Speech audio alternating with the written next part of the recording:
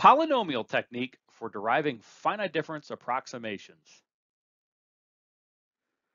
I'll first describe the polynomial technique and then give several examples. I think this is one of those things that's kind of weird and complicated and confusing enough that it will take some practice. So I recommend repeating these examples on your own on paper to fully understand what's going on here. Here we go. The polynomial technique for deriving finite difference approximations. Let's say we have an nth order polynomial, meaning we have an x to the n as the highest order exponent. How many points do we need to calculate all of the coefficients in this polynomial? How many coefficients do we have? Well, we have the a sub naught, a sub 1, a sub 2, all the way up to a sub n. But because we're starting at 0 here, we have n plus 1 coefficients. So we have n plus 1 things to calculate. That means we need at least n plus 1 points in order to determine n plus 1 coefficients for that polynomial. So assuming we have fit that to some discrete data, we can write our function as that polynomial, of course, but now we can calculate analytical derivative and second order and third order and so on. So the first order derivative, if we know our polynomial coefficients, we can just take the derivative of this original polynomial, we end up here. Now we have a way using these polynomial coefficients to calculate these, the first order derivative. Well, we take the derivative again. Now we can use those same polynomial coefficients to calculate a second order derivative. We can take a derivative again, use those same polynomial coefficients to calculate a third order derivative, and so on.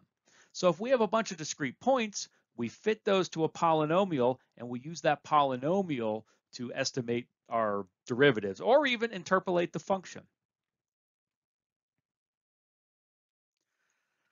So now I ask the question, what's the easiest value of x for evaluating f of x or any of its derivatives?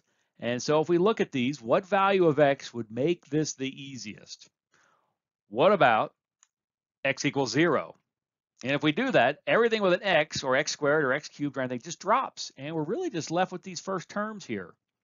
So if somehow there's a magical way where we only have to evaluate that first term in all of these polynomial equations, that would make deriving finite difference approximations very, very easy. Let's think about how to do that. So how do we make how do we always do this with an easy point? Remember the property where the finite difference coefficients do not change if we just slide all of our points around in space. It's only when we start changing the relative positions that the finite difference coefficients change. So why don't we just figure out where amongst our points we want to calculate that finite difference and slide that point to x equals zero. So that's exactly what we do. If we want to evaluate our finite difference at some value x sub fd, we'll just take all our values of x, subtract this xfd. Now we'll put a little squiggly over the, the x, a tilde. This is our translated coordinates. Now in our translated coordinate system, x equals zero where we're evaluating our derivative. And we can translate the coordinates just fine. We can have we can do this and translate this anywhere and the finite difference coefficients that we calculate in the end do not change. It's only when we would change the relative positions of our points that we're calculating these from that things would change. So that's the trick. We just shift so that we center our points around zero or place our points around zero so that zero is where we want to evaluate the derivative. So given that we've done that, if we want to interpolate the function at xfd, or in our translated coordinate system, zero, it's just polynomial coefficient a naught. If we want the first order derivative, that's just polynomial coefficient a1. Second order derivative, just polynomial coefficient a2 times 2. Third order derivative, polynomial coefficient a3 times 6. And this could go on. So all of this suggests a four-step procedure for deriving finite difference approximations. Step one is identify the points from which we want to estimate or, or interpolate the function or any of its derivatives. That's step one. Step two, we're going to shift those points so that in our shifted coordinate system, it equals zero where we want to evaluate our derivative. So another way to think about this, suppose we want to estimate our derivative at a position x sub fd, we simply subtract this from all our values of x, and that's our values of x in the shifted coordinate system. We will then fit our shifted points to a polynomial, and we calculate our polynomial coefficients. Then, if we want to interpolate our function at xfd or in the shifted coordinate system 0, that's just polynomial coefficient a naught. The first order derivative is polynomial coefficient a1. Second order is polynomial coefficient a2 times 2. And it's rare that you'll go higher than this, so I'm only writing these three All right, let's go through this in a little bit more detail step by step. So step one, we're choosing our coordinates. So what I'll do is store those coordinates in a column vector. Next, we're going to shift that so that in the shifted coordinate system, the shifted x equals zero where we're evaluating our derivative. So if we want to evaluate things at a position xfd, we simply subtract xfd from every value of x. So our new column vector for the shifted values, it's our old column vector that has the actual values of x, and we subtract xfd from each one of those that we're showing here. Now we have a new column vector in our shifted coordinate system, and in the shifted coordinate system, x tilde equals zero where we're evaluating our derivative. Ultimately, this is what we need to come up with. Now we need to fit these points to a polynomial. So we need to build a big X matrix, as you recall from curve fitting. And so our X matrix, the first column is our column vector in the shifted coordinate system to the zero power. Second column is those shifted coordinates to the first power, then second power, third power, all the way up to nth power. And as a final note, this zero power can fail if any of these values of X are zero. So really just place ones down this entire column. Then you have your shifted coordinates shifted coordinates squared, shifted coordinates cubed, and so on. And just to put this matrix in terms of the original x values, it's something like that. But I think it's easy just to shift and work with a column vector of shifted coordinates, and we're building a matrix that looks like this. At this point, we need to invert the matrix X that we just constructed. So let's call that matrix Y. So this really has nothing to do with Y positions. I guess I'm just running out of letters to call things. So this is the inverse of matrix X. Now we have this inverted matrix X, our Y matrix, pre-multiplying our column vector of function values. And right now we don't know these, so we're gonna leave these symbolic because we're deriving a finite difference approximation. So think of these as just symbolic F1, F2, F3, and so on. We pre-multiply by our Y matrix, we get a column vector. That column vector are our polynomial coefficients in terms of the F's. So when we do that, here's what we get. Remember, these are the elements of that inverse matrix. So our A naught is just some linear sum of function values. Our A1 is a linear sum of function values and so on. They're all like that in the same form. Now that we have the polynomial coefficients, we're ready to write the finite difference approximation. So if we want to interpolate our function at x tilde equals zero, that's just this first polynomial coefficient.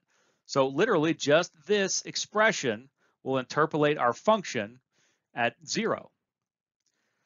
This polynomial coefficient a1, that's our first order derivative. So this line here, that is the finite difference approximation for a first order derivative. Now, if we want a second order derivative, it's polynomial coefficient 2, but we have to remember to multiply by 2. That's an easy thing to forget. So if we look at this expression, that's not quite the finite difference expression for a second order derivative. Close, but not there. We have to multiply it by 2.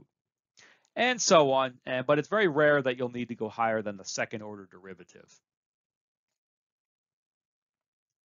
So looking at this, we invert this X matrix to get the Y matrix, and the rows of y are essentially our finite difference coefficients.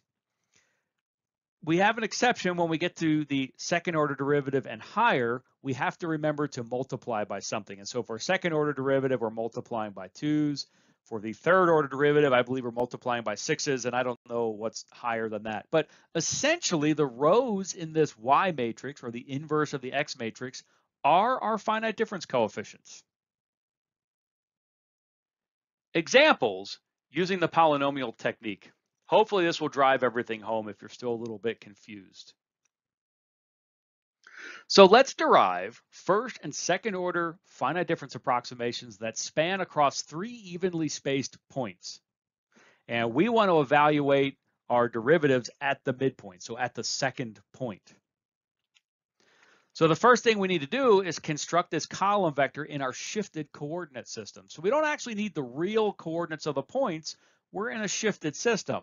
And we want to evaluate our finite difference at the second point, so we know that's going to be a zero in our shifted system. Now, rather than keep writing delta x, which is what I tend to do more often, it's also a common notation to use h for the spacing. So h and delta x are really the same thing. So assuming we have evenly spaced points, that would make the first point at position minus h and the third point at positive h. So this is our column vector of shifted coordinates.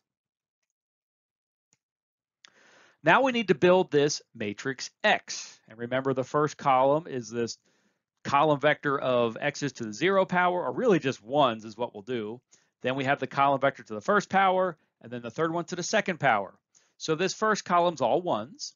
In the second column is simply just this column vector of shifted coordinates, and then we'll square them. So we end up with an h squared in the top and an h squared in the bottom, and a zero still in the middle. That is our X matrix. Next step is to invert that. And skipping all that work, here's the answer in the end. That is our inverted X matrix. And remember, the rows of this matrix are essentially our finite difference coefficients. Only, only exception, really, for a second order derivative, we'll have to multiply by 2. So now we get our polynomial coefficients. So we will pre-multiply our symbolic function values by this y matrix. That gives us a column vector, and those are our polynomial coefficients. So if we do the math and do this multiplication, here's where we end up. Our A naught is 0 times F1 plus 1 times F2 plus 0 times F3. That's really just F2. Now think about what the A naught is. That is estimating or interpolating the function at the midpoint. Well, the midpoint's known as F2, so it makes sense that would just be F2. Our A1 coefficient is minus 1 over 2h times f1, 0 times f2, positive 1 over 2h times f3. And if we simplify this, it's really f3 minus f1 over 2h. And I won't do the, but it's, you know, the, the first element times f1, second element times f2, third times f3. And when we simplify, here's where we end up. And if you remember back to when we first started talking about finite difference approximations, that's very close to the finite difference approximation for a second order derivative, other than the two sitting here, but we know we'll have to multiply that by two anyway, which is the last step. So if we're interpolating our function at xfd, that's just the first polynomial coefficient, f2. That makes sense. We don't even have to interpolate because we know the function at that point. The first order derivative at the midpoint f3 minus f1 over 2h. That's rise over run. We had previously derived that finite difference approximation. Second order derivative at the midpoint, xfd, is 2 times a2. So we'll go grab this expression, multiply it by 2. That really just eliminates the 2 in the denominator. And that is exactly what we derived in our first discussion of finite differences. Let's derive the same thing again, the first and second order finite differences across the same points. However, let's evaluate the derivatives at the first point. So the only difference in this procedure is this list of shifted coordinates. We're evaluating at the first point, so of course that will be zero in our shifted coordinates. That makes the first point at h and the third point at 2h. The rest of our procedure stays the same. We build this X matrix. So we have our column vector of ones, we have our shifted coordinates, and then our shifted coordinates squared. We then invert that matrix, skipping all the algebra. Here's our inverted matrix, and the rows are almost our finite difference coefficients. We can get our polynomial coefficients by pre-multiplying that matrix we inverted by a column vector of our symbolic function values, f1, f2, f3, and this is where we end up. Okay, now if we are interpolating f at the first point, that's our first polynomial coefficient. That's just f1. That makes sense because we know the function at the first point. That's just f1. Now these other ones are a little bit less intuitive maybe. So we're evaluating the first order derivative at the first point. That's just polynomial coefficient a1. And that's what we calculate up here. We just copy it down. And I'm looking at these finite difference coefficients and I wouldn't be able to look at those and know, oh, okay, we're evaluating the finite difference at the first point. So in addition to this equation, we'll have to somehow write off to the side and remember where that's evaluating our finite difference. Now, if we go to the second order derivative, 2 times a2, we end up with the same thing we had on the previous slide. But the previous slide was evaluating the derivative at the midpoint. But we have the same equation evaluating the second order derivative at the first point. Why is that? Shouldn't that have changed? And well, maybe yes, but here's why it didn't is because we didn't have enough extra information to evaluate at the first point. It requires all three points. And so the equation has to stay the same. Whereas evaluating a first order derivative only requires two points, but since we actually have three, we have a little bit extra information. Now the numbers do change a little bit. So it makes sense that that would change as we just ran out of information. So that's the best this method could come up with. And just for fun, let's evaluate derivatives just like we did, but at the midpoint of four discrete points. Same procedure now. We have a column vector in our shifted coordinate systems. Now, if we're at the midpoint of four points, the midpoint's right between these two, so we don't actually see a zero in here. That would make our, we have at zero here, we'd have minus h over 2 for the second point, minus 3 halves h for the first point, half of h for the third point, and 3 halves h for the second point. Otherwise, the procedure's not changing. We build our x matrix. So our first column's ones. Our second column is our shifted coordinates. Third column, shifted coordinates squared. Fourth column, shifted coordinates cubed. Now we symbolically invert that, and that took some algebra, but this is that matrix inverted, and we're remembering the rows of this are essentially our finite difference coefficients. So we will calculate first our polynomial coefficients by pre-multiplying this column vector of symbolic function values, f1 to f4. That gives us our polynomial coefficients. Once we have those, now we can evaluate the function and its derivatives. This first one is interpolating the function at that midpoint. That's just our first polynomial coefficient. And we end up here. That's simply just read off from this. Our first order derivative at the midpoint ends up here. This is actually used a lot in second order accurate finite difference methods. So this is something that in my head I recognize. And a second order derivative at the midpoint is 2 times the polynomial coefficient a2. Multiplying by 2 is an easy one to forget. I forget that all the time, but when we do, this is where we end up for evaluating the second order derivative. So remember the procedure, the column vector of our shifted coordinates. Then we build the big X matrix, first column of all ones. Second column is our shifted coordinates. Then the next column is squared, next is cubed, and so on. We invert that and really the rows of that are our finite difference coefficients, but we can fill in the details by calculating the polynomial coefficients and then writing our approximations.